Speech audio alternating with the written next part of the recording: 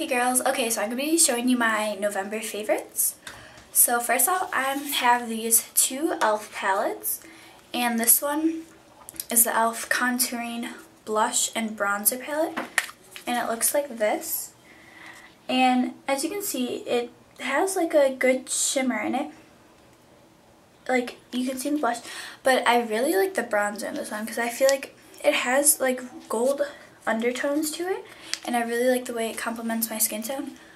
But I tried using the blush before, but I feel like the blush isn't that pigmented and it's really sparkly so I just end up looking like I have a whole bunch of sparkles on my face which really I want the blush. So, and I really like the bronzer in this, but overall this is, I like this palette. And my second one is e.l.f. Translucent Mattifying Powder. And it looks like this.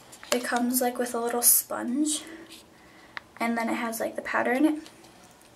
And I really like this because I feel like it really sets in my makeup and helps keep it staying on my face longer. So I really like this. And these were only about like $3 each.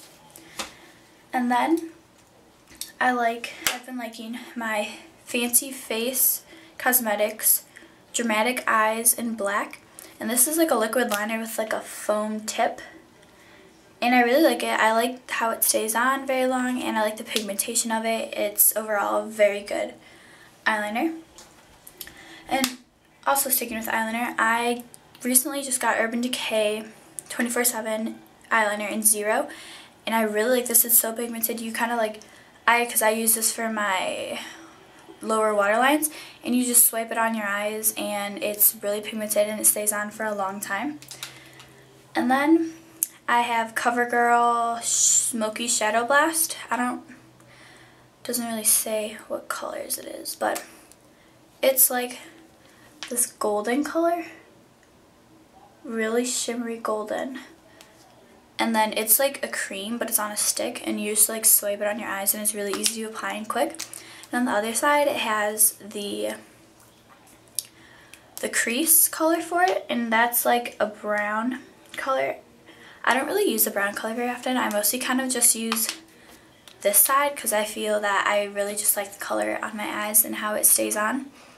And it doesn't crease that much. Like it creases a little bit like, but that's why I wear this one so you can kind of just smudge it around a little bit like during the school day and it's back to new. But otherwise it's really good.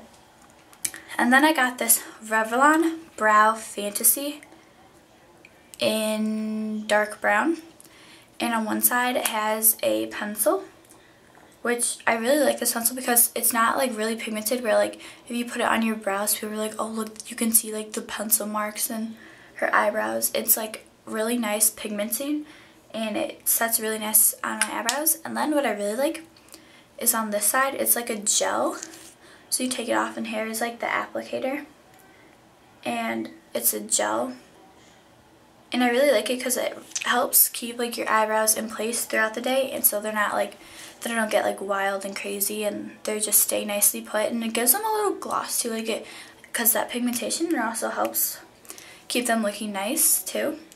So that's my November favorites and I hope you enjoyed. I'll see you guys later. Bye